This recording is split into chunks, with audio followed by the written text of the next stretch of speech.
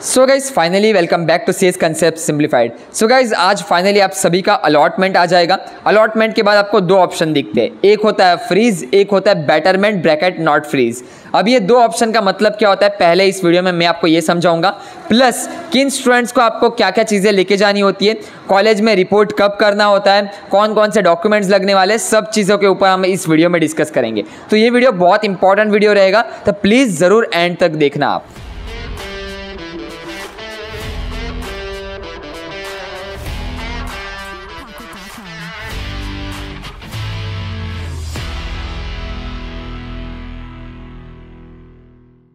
सो guys finally आज रात को आप सभी का अलॉटमेंट आ जाएगा। अलॉटमेंट के बाद आपको स्क्रीन के ऊपर दो ऑप्शन दिखेंगे। एक ऑप्शन होगा फ्रीज का, एक ऑप्शन होगा बेटरमेंट ब्रैकेट नॉट फ्रीज का। सबसे पहले अगर आपके पास दो में से आपको एक ही ऑप्शन चूज़ करना है तो आपने मान लो फ्रीज का ऑप्शन चूज़ किया। फ्रीज का मतलब ये होता है, आपको जो भी कॉलेज में आप में जो भी ब्रांच मिली है, वो आप एक्सेप्ट कर रहे हो और उसी कॉलेज में जाके आपको फाइनल एडमिशन लेना है। तो फ्रीज में अगर आपने क्लिक किया तो फिर आपको नेक्स्ट थ्री डेज़ के अंदर कॉलेज में रिपोर्ट करना होगा। कॉलेज में रिपोर्ट करने के बाद वहाँ पे जाके आपको फ़र्स्ट ईयर की फ़ी पेमेंट करनी है। जो भी फ़ी पेमेंट का अमाउंट होगा कॉलेज की वेबसाइट पे आप चेक कर लेना। उसके बाद आपको वहाँ पे जाके अपने ओरिजिनल डॉक्यूमेंट सबमिट करने हैं plus F C verified copy submit करनी है। अभी डॉक्यूमेंट्स क्या क्या लगने वाले, वो कॉलेजेस की वेबसाइट पे क्लियरली मेंशन होता है। तो जो भी कॉलेज आपको आज अलॉट होगा, उसकी वेबसाइट पे जाके डॉक्यूमेंट्स वो सब चीज़ें चेक कर लेना। ये कब करना है? जब आप फ्रीज करोगे तब। और फ्रीज करने के बाद भी आपको थाउज़ेंड रुपीज़ का पेमेंट करना पड़ता है। वो पेमेंट करने के बाद नेक्स्ट थ्री डेज़ में आपको कॉलेज में रिपोर्ट करना है डॉक्यूमेंट सबमिट करने हैं। ये चीज़ याद रखो। तो फ्रीज किया तो आपको ये प्रोसेस कंप्लीट करना। अगर आपने बेटरमेंट ब्रैकेट नॉट फ्रीज पे क्लिक किया तो फिर आपको रिपोर्ट करने की कोई ज़रूरत नहीं है। बेटरमेंट नॉट फ्रीज पे आपने क्लिक किया थाउज़ेंड रुपीज़ का पेमेंट रहेगा थाउज़ेंड रुपीज़ का पेमेंट आपने कंफर्म किया।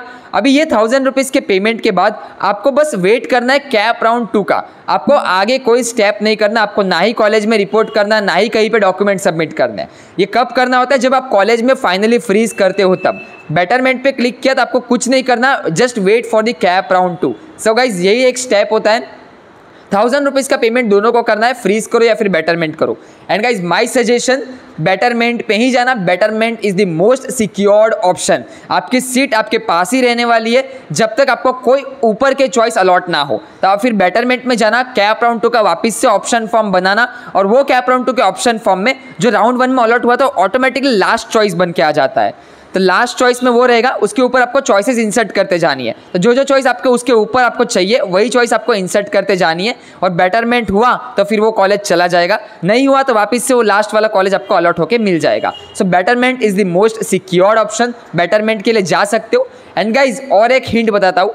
अगर आपके पास अभी आपके बैंक अकाउंट में फ़ीस रेडी नहीं हो चुपचाप बेटरमेंट पे क्लिक कर दो। ऊपर बस एक आपकी जो भी चॉइस अलॉट हुई है, उसके ऊपर सी डाल के रख देना। C computer science VJTI computer science वो डाल के रख देना। आपको वापस से उतना एक दो हफ़्ते का टाइम मिल जाएगा अपनी फ़ीस सबमिट करने का। तो ये एक बहुत अच्छा हिंट है, आप इसको यूज़ कर सकते हो, अगर आपके पास अभी बैंक अकाउंट में पैसे नहीं हो तो।